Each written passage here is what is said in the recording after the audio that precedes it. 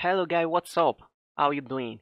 Now, in this lesson, we're going to be looking at React routing. I'm sure you guys must have been thinking if you are new to React and you're watching this, oh, come on, Maestro, how does this work? How are we going to make sure that, okay, each um, component are going to render on individual pages? We can't just, you know, have everything jumbled up and that's not how websites works it doesn't make sense that way we need to have the component for the about um page to for um the about component to render on the about page and for the contact to render on the contact page. So react routing is the way we do that. Now react the react router is um, a library that um, react uses to make um, single page applications possible.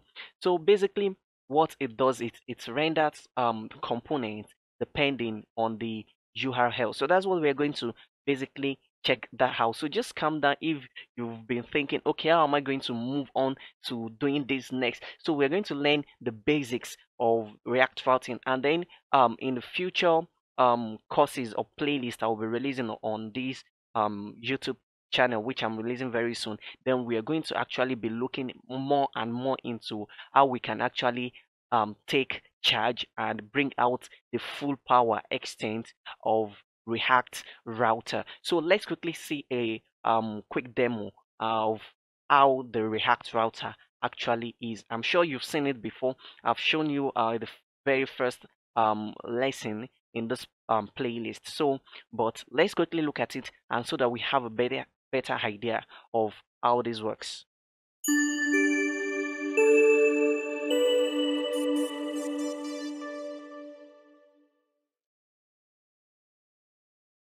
Okay, firstly, let's look at what we have here. We have, um, this is the application we're working on, but everything is rendered on the same page, which we don't want that. We don't want that to happen. And if we should click on this link, okay, slash about.html, doesn't actually work. It still um stays here and still render the same thing. But let's look at the finished um high um product, the finished project. So if I come right here, we can see um this particular project here. Now if i should click on about now we see it renders the about um page. Okay and the about component we have here uh, the about here the breadcrumbs and then we can see all of those stuff right here. Um our skilled team right here. Okay we should come to services and then it renders okay the services component. And you see how fast that was. As in i don't have to refresh the page. As in and right here um, we are using the same team component, but we can see the um, text is displaying right here is different, the bit um, different. Okay, let's go back to the about page, our skill team, and right here on the services, meet our capable team. And when we click on contact, you see very fast, and that's exactly what we're looking forward to, exactly what we want so how to make something like this and then everything is just moving so fast and so swift without um we having to wait for uh, reload and all of that lag that comes with it. So that's basically what the React um, router does and the process is called React routing. So without any further ado, let's dive into our code. Okay, so the first thing I'm going to do is I'm going to open up my terminal. So come here to view and then click on terminal. And then what you need to do is you are going to install the React router um, DOM.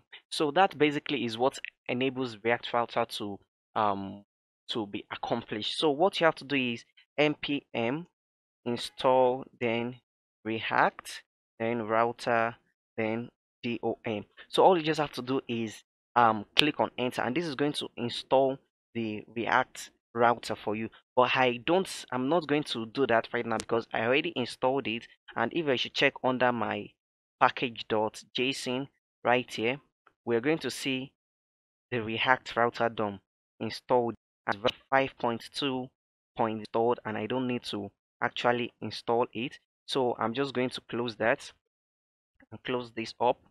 Now let me explain how the react router happens you need to know. Now the first thing is the browser router. Now the browser um, router is what we are going to wrap everything all of our components in and then we have the route So basically what the route does is it tells okay React that okay for this particular route maybe slash um about we want you to render this particular component and slash okay let's say contact we want you to render the contact component. So and then we have the switch. The switch is basically what um makes the switching between each of these um pages like the rendering um possible. So basically what we just have to do is import it. So i'm just going to come here import then from then react. So we have the react router DOM so what do we want to import exactly? We want to import three things. We want to import the browser router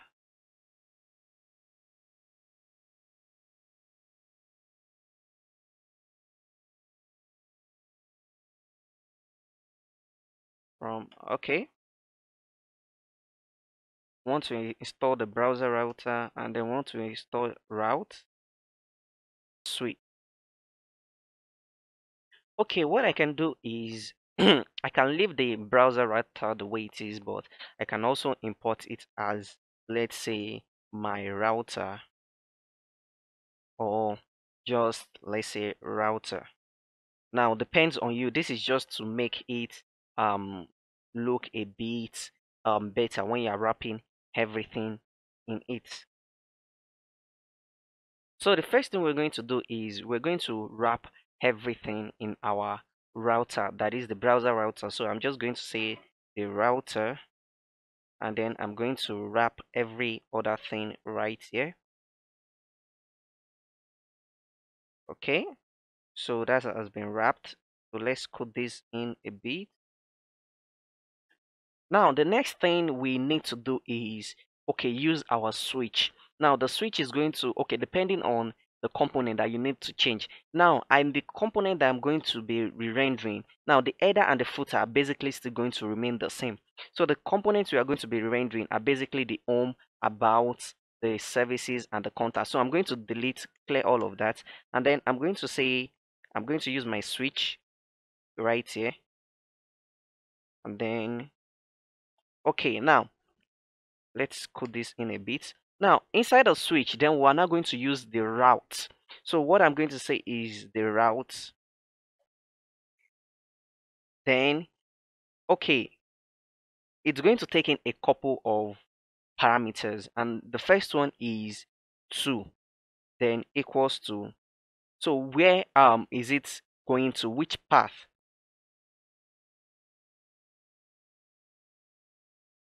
So for the home page, we're going to have the slash. So we don't need anything whenever it's automatically on the home page.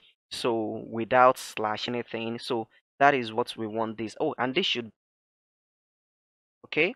So, and then we have to tell it the exact component we want to actually render. So then we say component, then equals to, so which component do we want to actually render? The home. Okay, so we have that and then I'm just going to copy this. So then the slash about then the slash um services and then the slash contact. So and then for these we're going to change the components here to about.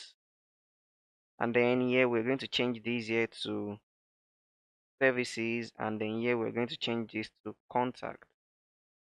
Okay so we have the sets. Let's save and let's see how our app actually looks like now. So i'm coming here. And now let's see. Okay. Let's refresh that. Okay so component. Now since we're on the home component we specify that. We start. So so let's say do some. Okay, so let's quickly do something. I'm going to come right here into our file and then the header. Okay, and instead of just um href equals to about the html, I'm just going to make it about. So let's see how that is going to work for us. And then let's refresh that manually. And then if I should click on this slash about now we see that the um, current URL we are in is slash about. But if we should come here we're going to see that it's still rendering the home component. So that's basically um uh, something you have to note. And we're going to basically tell it here that okay we are going to include another parameter. And the parameter is going to be exact. So this basically tells it that it should actually only render on the home component and not on the um on the home url and not on the other urls so let's save that and then let's come here. Now right here in about we can see that changed and we have the about components rendered on the url slash about. And if you should go back to the home component okay and if we come back to the home com um, home page we're going to see it renders the home um, component. And that is basically um, what react routing does now that's what it does but now there's still some couple of things we need to actually use from react routing. Now the first is we don't want that okay it should be reloading like this. No we don't want something like that. So to make okay all of those smooth re-rendering and transition um, without any um, lag time, we're going to import something else from the React um, router DOM. So we're going to come here, wherever we're going to have a link, instead of using an a um, an anchor tag, we're going to say, okay, we want to import something from the React router DOM. So right here. So the React router DOM, what do we want to import? We want to import link. Now let's see how that works actually. So right here, instead of the a tag we're going to change it to link. And here we're going to change it to link. So now what it actually does is on the front end it actually turns it to an anchor tag. But then um in the background it actually um works with the react router to do all of our routing. And we're going to see how that works um in a bit. So now instead of having href what the link takes in is something such as we have to. So now we can still add class name and all of that. So we have to and then here we're going to change this to okay to. Then we're going to say slash about and then here we're going to change this to two and then we're going to put it to slash services. And then don't let um forget to change this to link. So i'm going to select these and then link. Okay so we still have um for the contact button okay which is this guy here. And then instead of hr we have we're going to change it to 2 and then remove the dot html and then make this slash and then okay like this make this link. All right I think that should work well. So let's save and then let's come right here. Now if we should look here this is um just the home page then the about then slash services then slash contact. Let's click on the contact page and let's see what happens. Now we see that right here it's going to um, render everything on spot.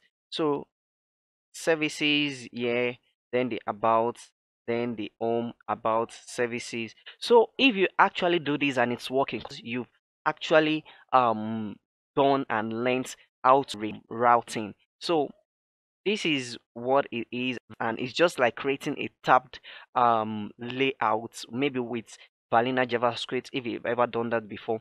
It just does everything so fast and without you having to wait for the browser.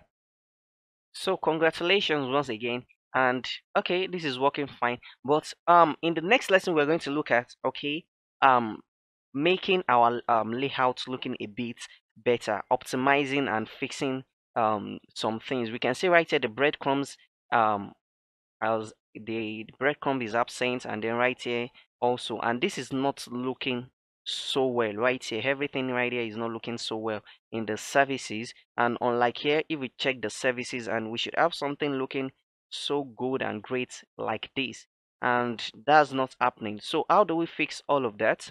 Okay so we're going to look at that in the next lesson. Stay